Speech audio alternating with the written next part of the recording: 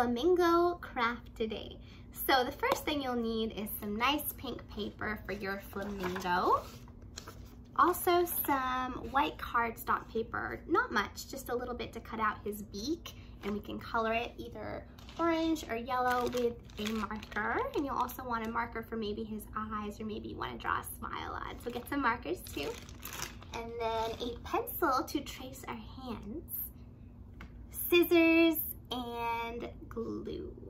So once you have everything, we will start with step one. It's gonna be so much fun. So for our step one, we're gonna be tracing. So you're gonna need your pink piece of paper and you'll need your pencil and your hand. So have mom or dad help you with this part. We're gonna take a piece of paper and we're gonna fold it in half, just like this. And we're gonna put our hand right along the crease here with our thumb right alongside that crease. And we're gonna trace our hand and then we will cut it out. Make sure not to cut out this part. Keep the crease intact so that it opens up like this. So I have just traced my hand and I'm now gonna take my scissors and cut out my traced hand. Your handprint flamingo should look something like this so now that we have our flamingo body, we need the flamingo neck and head. So you can kind of use your own creativity with this. It doesn't have to be perfect. Just to the best of your ability, we'll cut out a neck shape with a head at the top. So I'll show you what I have drawn that I'm gonna now um, cut out. Something that looks similar to this. And we'll cut it out and we'll put it on our flamingo hand. So I have finished cutting out my flamingo neck and head in a minute, I'm going to glue this onto the rest of the body that I've already made like this.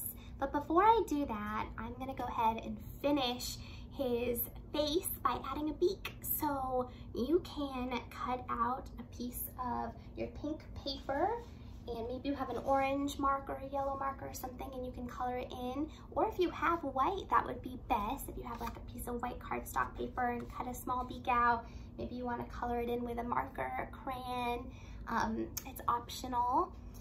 So go ahead and cut just a small shape of a beak out and we'll go ahead and glue that onto the rest of the face. Now that I've glued on the beak, I'm gonna go ahead and take a black marker and add a little eye. And now my face is complete. I'm going to take my neck, I'm gonna tape it on or glue it on to just the underside of my handprint right underneath where my thumb went It's looking so good. I just have one more step left. I wanna add some legs. So we're gonna take that pink paper again and we're gonna cut out two legs. So one is gonna look like a long, kind of thin rectangular piece. The other one I'm gonna have as a folded leg.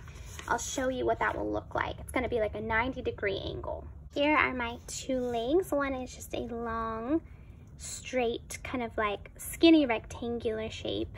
The other one is more of a 90 degree angle. Now you can go ahead and glue this on however you want. Maybe you want it to look like this. Oops, turn it over. Or maybe you want it to look more like this. My fan is going in my room, so it's blowing these tiny little pieces. So however you want to glue the legs, whatever style you want to give it, you can go ahead and have the freedom to do that and make it look how you want it to look.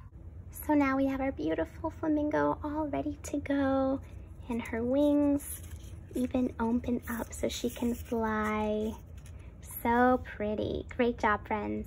One extra cool thing you can do is if this is a gift for somebody else, you can open this up and make it like a card and write a special note for the person you're giving it to, and they will love this gift.